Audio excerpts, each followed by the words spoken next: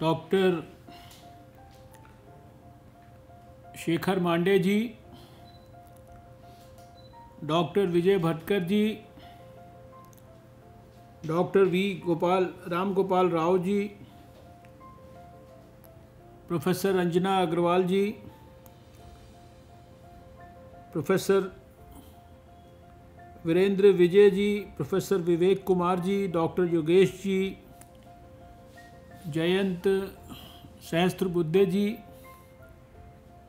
और इस आज के बहुत ही महत्वपूर्ण कार्यक्रम में उपस्थित सभी सीएसआईआर के वैज्ञानिक आईआईटीज़ के सभी हमारे इंजीनियर्स स्टूडेंट्स उन्नत भारत अभियान में जुड़े हुए सभी वरिष्ठ जन विज्ञान भारती के सभी हमारे सैकड़ों वैज्ञानिक। मैं सबसे पहले तो प्रोफेसर रंजना अग्रवाल जी और उनकी पूरी टीम को मैं आज उनका सी एस आई आर निस्टेट्स का चालीसवा फाउंडेशन डे है। इस अवसर पर उनको मैं हृदय से बहुत बहुत बधाई देना चाहता हूँ। सभी अपने साथियों का। और आज का ये फाउंडेशन डे आपने एक महत्वपूर्ण अवसर में बदल दिया है। ये भी अपने आप में हम सब के लिए बहुत खुशी की और बहुत संतोष की बात है। जिन इंस्टीट्यूशंस का एक प्रकार से औपचारिक तौर पर एमओयू के माध्यम से संगम हुआ है वो सभी बहुत महान इंस्टीट्यूशंस हैं। सी एस आई आर के बारे में हम जानते हैं कि वो देश की ऐसी विज्ञान के और टेक्नोलॉजी के क्षेत्र की प्रतिष्ठित इंस्टीट्यूशन है जो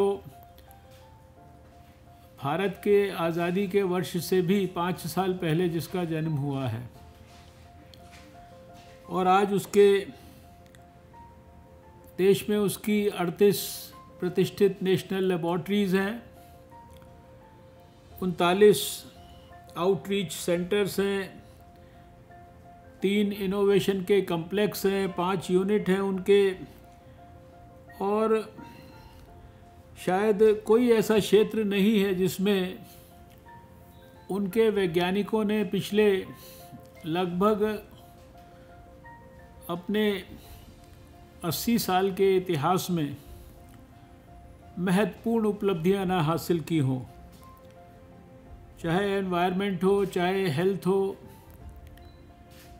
चाहे फ़ूड टेक्नोलॉजी हो, चाहे ड्रिंकिंग वाटर हो, चाहे एनर्जी हो, चाहे फार्म या नॉन फार्म सेक्टर्स हो, चाहे एविएशन यानी कोई ऐसा विषय जो हम सोच सकते हैं, ये रूरल टेक्नोलॉजीज़ तो हैं ही।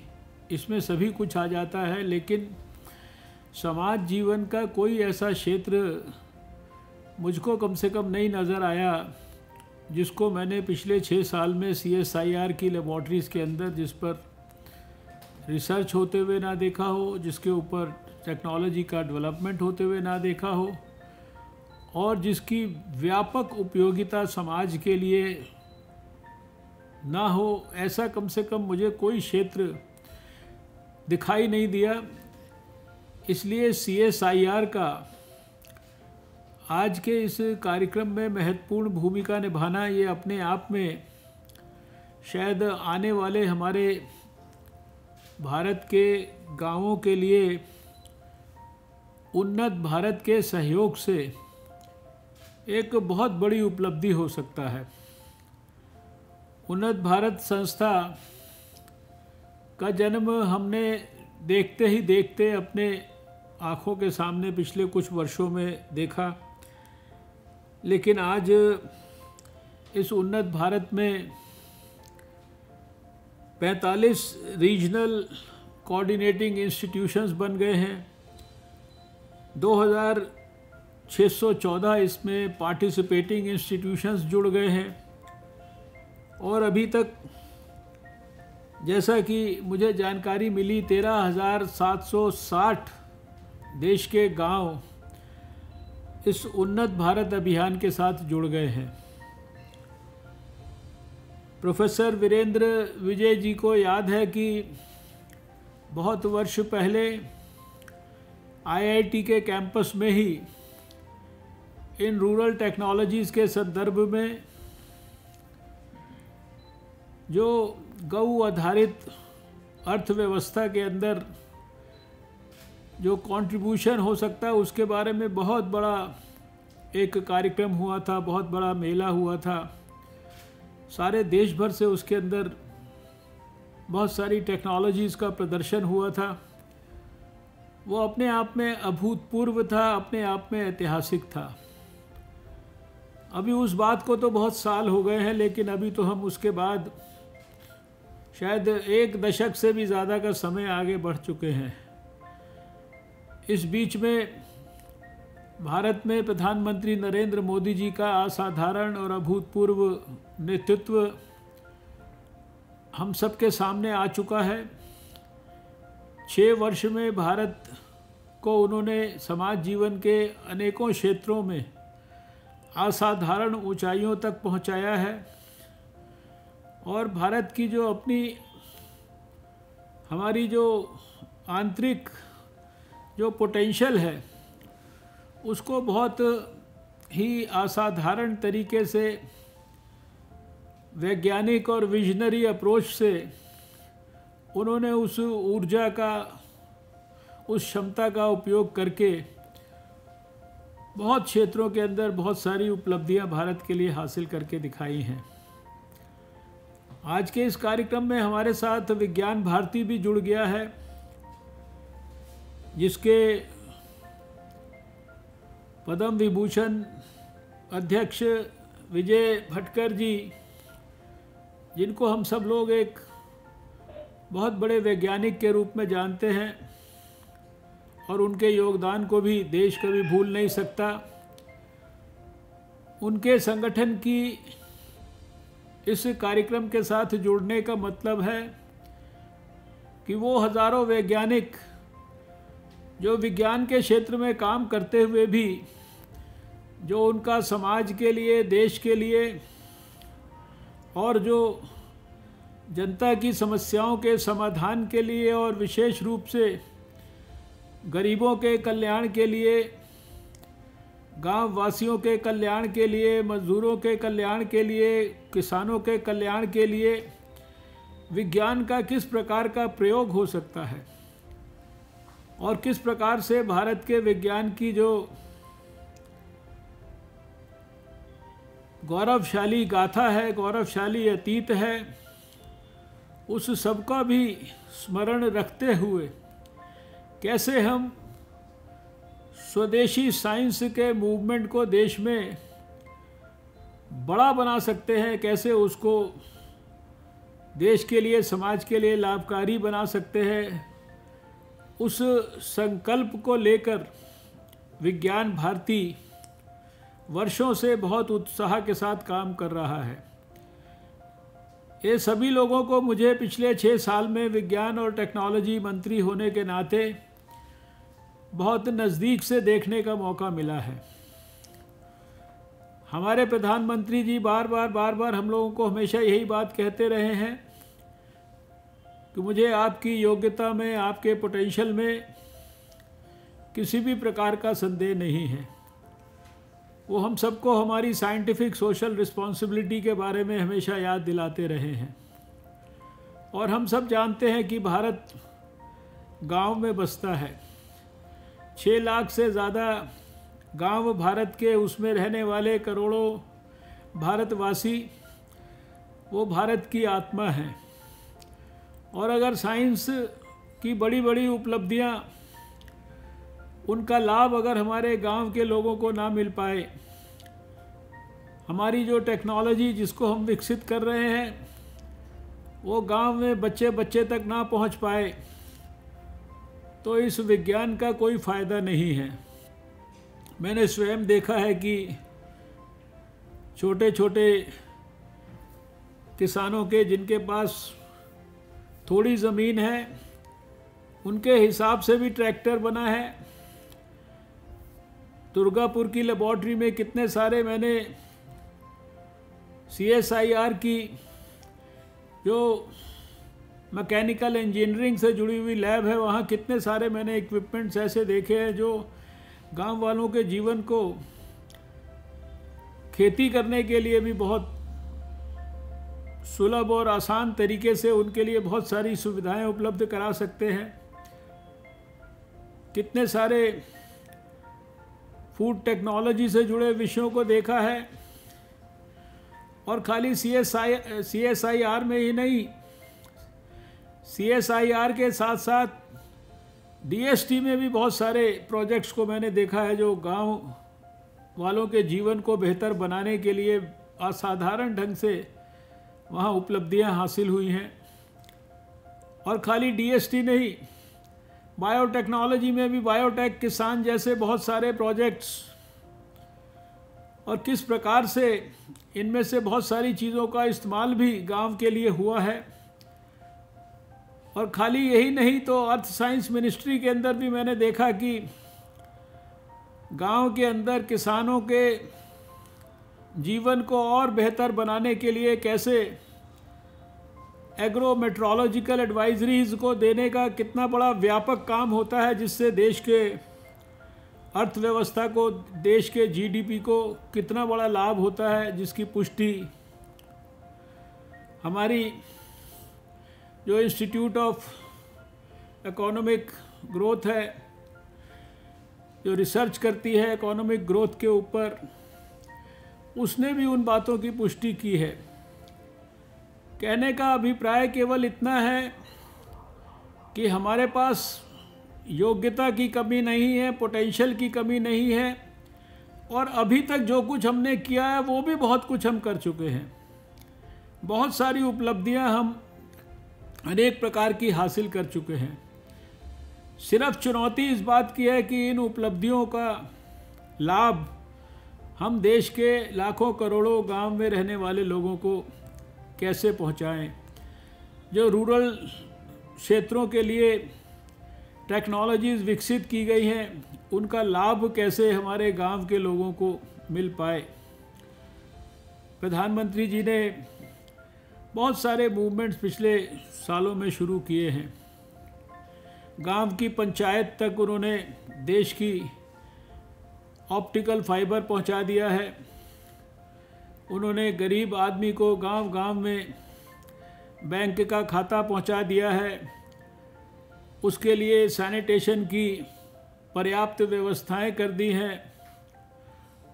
और हमने देखा कि साइंस की लेबॉर्ट्रीज़ के अंदर तो वेस्ट के इस्तेमाल से कैसे अच्छा टॉयलेट बनाया जा सकता है, वो भी मैंने दिल्ली के अंदर, नेशनल फ़िज़िकल लेबॉर्ट्री के अंदर बना हुआ देखा है। प्लास्टिक वेस्ट से कैसे पेट्रोल और डीजल बनाया जा सकता है, गाँव की और शहर की प्लास्टिक वेस्ट को साफ़ करके और उसको एनजीओ के माध्यम से कैसे पेट्रोल के अंदर परिवर्तित किया जा सकता है, इसको भी मैंने Indian Institute of Petroleum Dehradun के अंदर देखा है। पता नहीं कितने प्रकार के जो टेक्नोलॉजी के डिस्कवरीज़ हैं टेक्नोलॉजी के ऊपर हुई हुई रिसर्च है। टेक्नोलॉजीज़ की शायद हमारे पास अभी बहुत कुछ है हमें सिर्फ़ डिलीवरी मैकेनिज़म्स को जो है शायद सुदृढ़ करना है। और इसके लिए ये निस्टेड्स के साथ मिलकर, जिसकी मैंडेट ही शायद इसी प्रकार का है कि कैसे हमें ये सारी डेवलपमेंट की साइंस को प्रमोट करना है। तो मैं समझता हूँ कि आज का ये अवसर, जिसमें एक तरफ़ राष्ट्र प्रेम और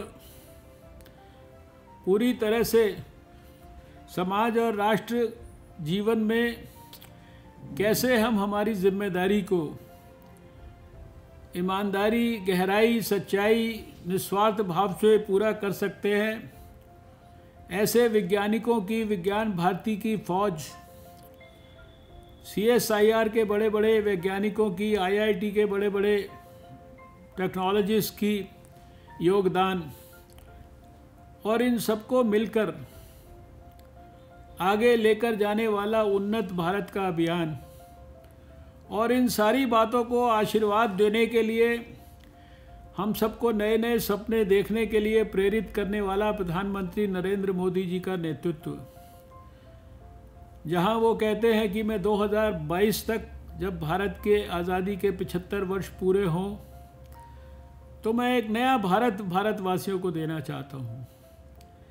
चाहे गाँव हो, चाहे शहर हो, चाहे बुज़ुर्ग हो, चाहे बच्चा हो, चाहे नौजवान हो, चाहे हमारी बहन माता हो, चाहे गरीब हो, मज़दूर हो, किसान हो, सबके चेहरे पर वो वापस खुशी लाना चाहते हैं।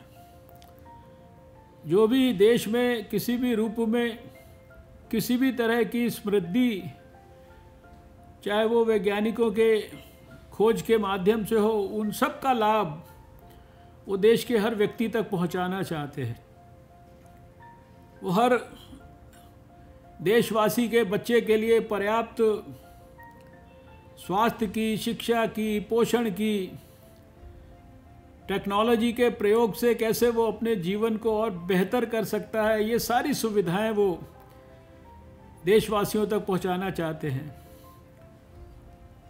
हर सुविधा को टेलीफोन के माध्यम से वो पहुंचाना चाहते हैं और टेलीफोन में इंटरनेट की सुविधा सबको उपलब्ध हो, इसके लिए गाँव गाँव उन्होंने पंचायतों तक, जैसा मैंने कहा कि इंटरनेट का तार पहुँचा दिया है, ऑप्टिकल फाइबर पहुँचा दिया है।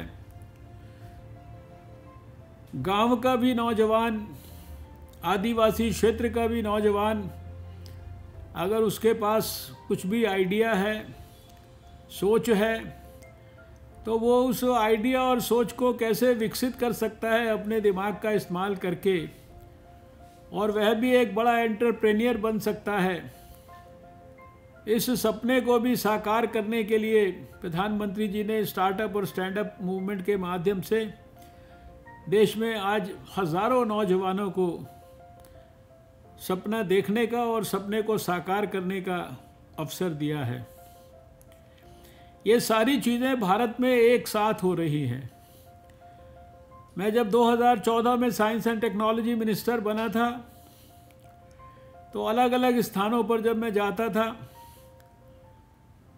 तो साइंस की लैब्स के अंदर भी जाने पर और साइंस में भी अलग अलग डिपार्टमेंट्स के अंदर अलग अलग जाने पर मुझे ऐसा एहसास होता था कि शायद सब कुछ साइलोज में हो रहा है। एक ही शहर के अंदर दो लेबॉर्ट्रीज एक ही तरह का काम करती थी, लेकिन कोई समन्वय नहीं होता था। एक ही विषय के ऊपर दस स्थानों पर काम हो रहा होता था, लेकिन एक दूसरे को उसके बारे में उतना संपूर्ण ज्ञान नहीं होता था। और पहली बार जब देहरादून के अंदर सीएसआईआर का हमने सारे डायरेक्टर्स की मीटिंग की थी, और सबने दो दिन तक दिन रात अपने प्रेजेंटेशंस किए थे तो बहुत लोगों ने ये विचार व्यक्त किए कि बहुत सारी चीज़ें हमारे हमारे साथी क्या कर रहे हैं हमको पहली बार आज यहाँ जानकारी मिली है। लेकिन देखते ही देखते मैंने देखा कि पिछले छः साल के अंदर हमारे वैज्ञानिक, चाहे वो किसी भी क्षेत्र में काम कर रहे हों, अब आईआईटी के लोग हैं आईसर के लोग हैं सीएसआईआर के लोग हैं डीआरडीओ के लोग हैं, दूसरे सभी संबंधित विभाग यूनिवर्सिटीज़ एकेडमिया सब लोग मिलकर धीरे धीरे धीरे धीरे करके और एक महान भारत बनाना है, इस उद्देश्य को, इस लक्ष्य को अपने सामने रख कर मिलजुल कर काम करते हुए दिखाई देते हैं। और इसलिए अब सब क्षेत्रों के लोग मिलकर ये काम करेंगे। ये जो आपका उन्नत भारत का प्लेटफॉर्म है, मुझे आज इस कार्यक्रम में आपकी सबकी बातें सुनने के बाद लगता है कि इस प्लेटफॉर्म को और ज़्यादा एनलार्ज करने की भी आवश्यकता हो सकती है। साइंस के ही बहुत सारे और दूसरे डिपार्टमेंट्स जो मैं खुद स्वयं देखता हूँ, उनमें बहुत सारे ऐसे काम होते हैं जो रूरल टेक्नोलॉजीज़ की दृष्टि से और रूरल क्षेत्र के लोगों के जीवन को बेहतर करने के लिए उनकी बहुत बड़ी उपयोगिता है। और इसके साथ साथ जो साइंस के और भी डिपार्टमेंट जिनको मैं शायद खुद नहीं देखता, लेकिन मेरे सहयोगी मंत्री देखते हैं, वहाँ पर भी बहुत कुछ है जो कि हमें साथ में जुड़कर और अगर वास्तव में हमारे इस उन्नत भारत का जो एक मेजर इसका कंपोनेंट है वो रूरल टेक्नोलॉजीज़ के माध्यम से अपने देश के गाँव वासियों का जीवन बेहतर करना है। तो हमें इसके स्कोप को भी एनलार्ज करना होगा। और अभी जो विवेक कुमार जी ने प्रेजेंटेशन किया है, इस प्रेजेंटेशन में लिखी हुई एक एक बात को वास्तव में हमें इम्प्लीमेंट करना होगा। इसकी चीज़ों की टाइमलीनेस तय करनी होगी।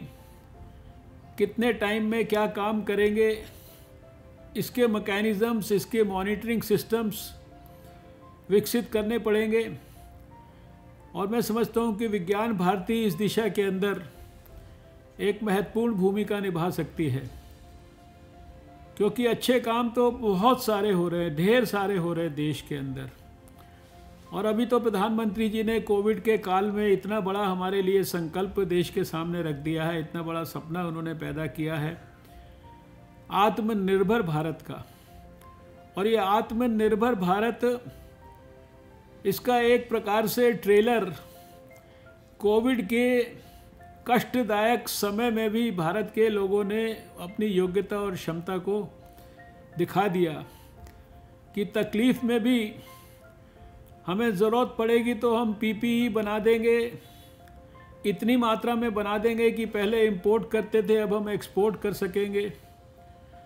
पहले हम इंपोर्ट करते थे, पहले शुरुआती दौर में किट्स को तो अब हम एक्सपोर्ट करने की स्थिति में आ गए हैं। हम वेंटिलेटर्स इंपोर्ट करते थे, आज हम वेंटिलेटर्स भारत में बनाकर 25 से ज़्यादा मैन्युफैक्चरर्स उसको एक्सपोर्ट करने की स्थिति में आ गए हैं।